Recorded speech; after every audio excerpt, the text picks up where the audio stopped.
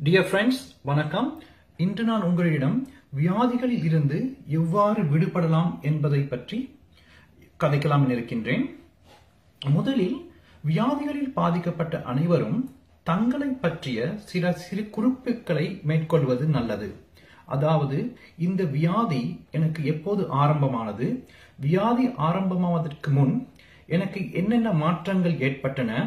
இந்த வியாதி ஏற்பட்ட பின் தற்போது நான் என்னென்ன நிலைகளில் இருக்கின்றேன் எவ்வாறான நான் மருந்துகளை நான் பாவிக்கின்றேன் வியாதி இன்று எவ்வாறான உறுப்புகளுக்கு இன்று மாற்றம் அடைந்திருக்கின்றன என்னென்ன டெஸ்டுகள் செய்துள்ளேன் எத்தனை வகையான வைத்தியர்களை நான் நாடியுள்ளேன் எனது உடம்பில் ஏற்படும் மாற்றங்கள் என்னென்ன எனது எடை கூடியுள்ளதா அல்லது எடை குறைந்துள்ளதா மற்றும் எனது நித்திரையின் தன்மை எவ்வாறு இருக்கின்றது எனது உடற்பயிற்சிகள் எதுவும் நான் செய்கின்றேனா எனது உணவு பழக்க வழக்கங்களில் ஏதும் மாற்றம் எதுவும் இருக்கின்றதா?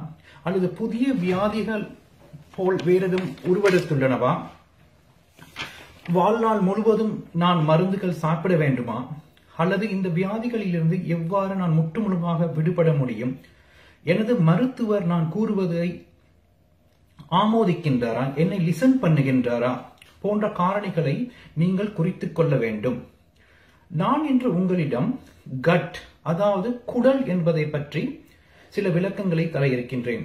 குடல் என்பது நாக்கில் ஆரம்பித்து எங்களது தொண்டை வழியாக ஆசனவாய் அதாவது அனஸ் வரை செல்லுகின்றது. இந்த குடலில் இரண்டு கிலோகிராம் வரையான பாக்டீரியாக்கள் அதாவது டூ பில்லியனுக்கு மேற்பட்ட பாக்டீரியாக்கள் உயிர் வாழ்கின்றன. இந்த பாக்டீரியாக்கள் அனைத்தும் நாங்கள் நோயில்லாமல் உயிர் வாழ்வதற்கு மிகவும் பெரு உறுதுணையாக இருக்கின்றன. ஆனால் நாங்கள் சில பழக்க வழக்கங்கள் அல்லது சில உணவு முறைகள் சில மருத்துவ முறைகள் மற்றும் இந்த பெயின் கில்லர்ஸ் அதாவது நாங்கள் எடுக்கும் நோய் வழி நிவாரணிகள் மற்றும் ஆன்டிபயோட்டிக்ஸ் ஹோமோன் டேப்லெட்ஸ்கள் கண்ட்ரசாப்டிவ் பெல்ஸ் மது புகைத்தல் அளவுக்கு அதிகமாக சீனி உட்கொள்ளல் கடை உணவுகள் மன அழுத்தம் விட்டமின் டி இல்லாமை உடற்பயிற்சிகள் செய்யாமை பிழையான உணவு பழக்க வழக்கங்களை பிரயோகித்தல் தவறான நேரத்தில் உணவு உட்கொள்ளுதல் சில மருந்துகள் போன்ற காரணிகளால் இந்த கட் பாக்டீரியாக்கள் பாதிப்புக்கு உள்ளாகி ஒவ்வொருவருக்கும் ஒவ்வொரு விதமான நோய்களின் பெயரில் வெளிவருகின்றன. அதாவது தலைவலி தடுமன் அடிக்கடி தடுமன் பிடித்தல் அடிக்கடி காய்ச்சல் ஏற்படுதல் எய் ஃபீவர் மூட்டு வலிகள் அதாவது ருமட்டிசம் முடி உதிர்தல் கேஸ்ட்ரிக் ப்ராப்ளம் அதாவது நெய்களில் ஏற்படும் fungal pimples thyroid issues asthma blood pressure cholesterol diabetes two dementia fatigue infection like arthritis infection hay fever cancer autism ADHD இப்படியே ஊருக்கு அதிகமான நான் வியாதிகளை கூறிக்கொண்டே செல்லலாம். இவை அனைத்திற்கும் காரணம் கட் அதாவது எங்கள் குடல் என்பதை யாராலும் மறுக்க முடியாது. இதை தடுப்பதற்கு உங்களின் மருத்துவரை நாடி கட் பர்மியபிலிட்டி டெஸ்ட் அல்லது லீக்கி கட் என்பதை செய்ய நீங்கள் அவரிடம் கூறவும். இதை செய்யும் பட்சத்தில் தொன்னூற்றி ஒன்பது வீதமான காரணிகளை உங்கள் வியாதிகள் தொடர்ந்து இருப்பதற்கான காரணிகளை நீங்கள் அறியக்கூடியதாக இருக்கும்.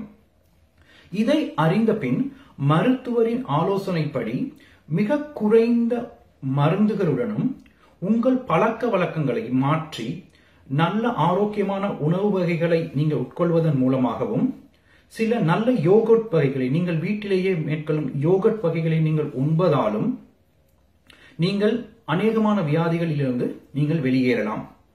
இந்த டெஸ்டை செய்வதற்கு உங்களது ஸ்டூல் அதாவது உங்கள் மலம் மாத்திரம்தான் தேவைப்படும். உங்கள் லெபோரட்டரி மூலமாக இந்த டெஸ்ட்களை நீங்கள் செய்வதற்கு குறைந்தது நான்கிலிருந்து ஆறு வாரங்கள் ஏற்படும். அதன் பின் அதற்குரிய ரிசால்ட்கள் உங்களுக்கு கிடைக்கும். இந்த ரிசால்ட்கள் கிடைக்கும் பட்சத்தில் சரியாக சரியான மருத்துவரை நீங்கள் நாடி அவர் உதவியுடன் நீங்கள் உங்கள் வியாதிகளிலிருந்து நீங்கள் விடுபடலாம். கட்டாயம் இவ்வாறான வியாதிகளில் இருந்து நீங்கள் விடுபடுவதற்கு உங்களின் முயற்சி மிகவும் மிகவும் அத்தியாவசியமாக மாறுகின்றது. சரியான அதாவது சரியான மருத்துவரை நீங்கள் தொடர்பு கொண்டு சரியான அறிவுரைகளை நீங்கள் மேற்கொண்டு உங்கள் உடற்பயிற்சி உங்கள் உணவு உங்கள் வியாதிகளுக்கு நீங்கள் மட்டுமே தான் பொறுப்பு. வேற யாரையும் நாங்கள் பொறுப்பு கூற முடியாது. அதனால் நீங்கள் எடுக்கும் முயற்சியின் மூலமாக நீங்கள் உங்கள் வியாதிகளிலிருந்து வெளிவரலாம். வெளிநாடுகளில் இருப்பவர்களுக்கு கூட இந்த கட் டெஸ்டை பற்றி அநேகமாக தெரிய வாய்ப்பில்லாமல் இருக்கின்றது. முடியுமானவரை நீங்களும் உங்கள் மருத்துவரை நாடி அநேகமாக பிரைவேட்டாகத்தான் இந்த டெஸ்ட் செய்யப்பட வேண்டியது உள்ளது. அதனால் பிரைவேட்டாக நீங்கள் இந்த டெஸ்டை நீங்கள் செய்வதன் மூலமாக உங்கள் வியாதிகளுக்குரிய காரணிகளை நீங்கள் கண்டறிந்து வெகு குறைவான நாட்களிலேயே நீங்கள் வியாதிகளிலிருந்து முற்று முழுதாக நீங்க வெளியேறலாம். அதனால் தயவு செய்து உங்களுக்கு என்ன வியாதிகள் இருக்கின்றது என்பதை நீங்கள் அட்டவணைப்படுத்தி எவ்வாறான மருந்துகள் எடுக்கின்றீர்கள் எவ்வாறான தடுப்பு முறைகளை நீங்கள் மேற்கொண்டீர்கள் என்பதெல்லாம் மேற்கொள்வதன் மூலமாக நாங்கள் இலவாக வியாதிகளிலிருந்து வெளியேறலாம். நாங்கள் உட்கொள்ளும் உணவு எங்கள் அநேகமான எண்பது விதமான வியாதிகளுக்கு காரணமாக அமைகின்றது.